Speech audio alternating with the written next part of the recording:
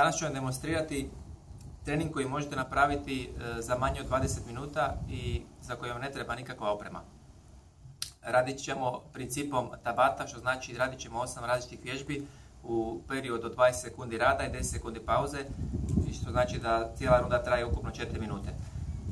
Ovisno koliko vremena imate, vremena imate možete napraviti 4 ili možda čak i 5 rundi ovih vježbi i to će, to će vam biti sasvim dovoljno, vjerujte mi, zato što je intenzitet vrlo visok. E, moram napomenuti da ovo nije e, rutina za početnike zato što su vježbe vrlo napredne te ako, ako niste već neko vrijeme e, vježbali na ovaj način savjetujem vam da, da ne probate ovu rutinu. Ovo je rutina za napredne i ako je budete radili, a niste spremni, mogli bi, mogli bi se ozlijediti. Tako da svi početnici samo gledajte i, i gledajte nešto što, što s vremenom možete i vi sami raditi, ali ako nemate iskustva, nemojte probavati.